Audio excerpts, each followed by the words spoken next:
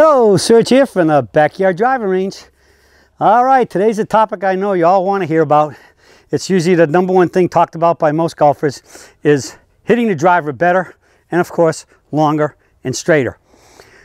I want to tell you a little bit of a story that just happened recently and it involves DJ. DJ, I'm sure as many of you know who, who uh, follow him, that uh, he started to really start playing a lot, a lot better. And he just had, and uh, he finished off the 2015 year in the last two tournaments on the PGA Tour uh, with uh, a tie for 10th and a 17th. And in the last couple of years, he's, he's been hitting the ball fairly well with the driver. He's still up there in, in, in, in better than above average fairways and fairways in regulation and greens in reg, but I've seen too many problems with his driver in that he seems to be hanging the ball out to the right. Now, I'm going to say right up front, I'm dead certain that in many cases it's likely bad, big A, bad alignment. He tends to aim to the right, and, and unfortunately, he doesn't check himself out enough. But even when I was out work with him, I'd see him hanging the ball out there too much, and, and, and the dispersion pattern was way too wide. And I just felt that uh, I know that his clubs in the last couple years have not been made by Doc, and so I was very concerned. And I, I finally said to him, "Deej, it's time to get into the Doc. Yeah, I mean, your irons in the bag were done by him years ago, but your your your your, your woods haven't." And, and I just think I'm seeing too many problems there. And I want to just know that in my mind, and hopefully in your mind, that you know when Doc fixes you, fits you is going to be uh, correct. So he went in, and we got a full fitting. All right starting off with the driver. I'll talk about the driver today and I'll, another daily I'll talk about the irons. But the driver, the big issue was that first thing Doc does is he measures the clubs. He finds out that DJ's driver is 45 and a half inches long. Now DJ's 6'3", so most cases he could handle that. But it was longer than what he thought it was. All right? He, he was using a top brand driver, one of the top ones out there that's on the market today. And uh, so Doc said, okay, well, we'll see what's going on. So he put, he put the uh, impact tape on the face, and DJ stood there and hit five or 10 drives with the impact tape on it, and I, he's just squashing them. And, and Doc's got his launch monitor there, and he's, and, and he's monitoring the, the launch angle, the spin rate, solidness of contact, which what they call is uh, the smash factor. And I think on the machine he had, 1.5 was, was like the best you could get. It's uh, pretty close to perfect. And DJ was just, after about 10 shots, it was just like one big ball on it and only like one, one, one or two little places it was down a little low and uh, lower than normal and then, then the, the big squash in the middle and, and, and a little inside of it towards the heel, but very, very not far off at all. And, and overall his launch, all his angles and everything were very consistent, launch angles, spin rates, everything. So then Doc said, okay, that was at full length. So he had him choke up about a half inch and he hit about another 10 balls.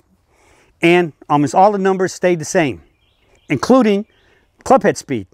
All right. Then he had him choke it down another half inch, which would now bring it to 43, uh, 44 and a half. And everything still stayed the same. So Doc's conclusion was, was that, and, he, I think he took him all the way to 44, and, and he was still swinging the same numbers. So he was saying Length does you no good other than just gives you greater margin of error. Have you ever heard me talk about that before?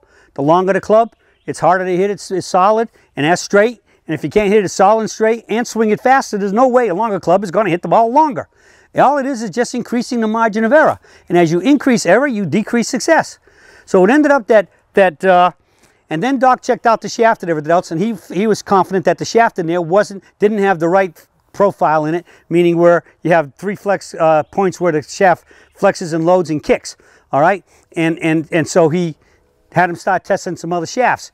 And sure enough, he, the other he, uh, the, the particular shaft he already knew which one he wanted to put him in. And when he checked two or three other ones and he got that shaft in there, his numbers all changed for the better.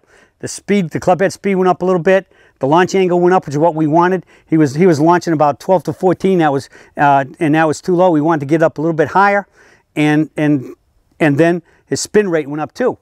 And his tightened up his ball flight, and he could hit DJ right off the bat could feel a difference in the club. So it ended up that he ended up making him that driver, the drive he's got in his bag right now, that that Doc made that day is a 44 inch driver. And he is just absolutely smoking it. All right. So here he is. He's six foot three, swinging 44 inches. Most of you folks that are going to go out and buy clubs, and you go and buy a driver and most any and get most fittings from anybody but a peak performance club fitter, they're probably going to talk you into saying, oh yeah, you need at least 45 inches because you can swing the club. Yeah, a longer club hits the ball farther with a bigger head and everything else. Okay, well, as you all know, my driver head is is is the same time that Doc makes. And in fact, this one does say DOC on the bottom. Uh, it's a it's an Alpha driver, 360 cc's versus 460, which is what they're going to try to put you in. All it is is when you get a bigger head and a bigger face, you cannot make the sweet spot bigger. That's a that is just out and outright wrong. All you got is more room to miss the sweet spot by and hit a worse shot. So Doc puts you in these drivers. Right shaft length is important and then getting the right shaft for you to fit your game, your swing, your miles per hour. Lastly, I will say this. I was rather shocked with when Doc kept telling DJ, swing harder, man, give it all me, give it all you got. I think the highest he got up to was like about 117 or 119. And back when he was in college, he could pump 125 without even batting an eyelash. But again, when he's in college, he's 22 years old. Now I guess he's turning into a semi, you know, uh, older guy at uh, he's going to be 35 very in, very soon, and so he's losing club head speed, not moving as fast. And I mean, DJ is as fit as I've ever seen him in his life. I mean, I don't think there's an ounce of an ounce of fat on him. He's he works out, he does yoga, he does he lifts weights, he runs, everything. He got, he's so fit, it's unbelievable, and he eats perfectly. I mean, uh, all organic and and watching his diet and everything else. So he's as fit as can be and yet he's lost on average probably about seven or eight miles an hour by 30, by what will be 35 in, in very shortly.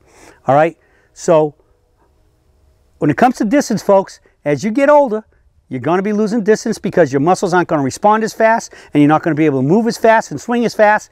And the biggest thing to keep, keep you in the game is to make sure you got the, properly, the proper length and the proper shafts for you. It works for DJ. I think you're going to see a big difference in that his driving is going to even get better and tighter and probably and, and, and hitting a lot more fairways. When you hit more fairways, you hit more greens. So the moral of this story is golf clubs, you got to be sure if you want to play better, go get fitted and get fitted by a really good fitter, a swing surgeon certified fitter, and it'll be done right and you'll hit the ball more solid, straight, and longer. And that's how you play better golf. That's it for the Surge for today, and I'll be speaking with you all again soon.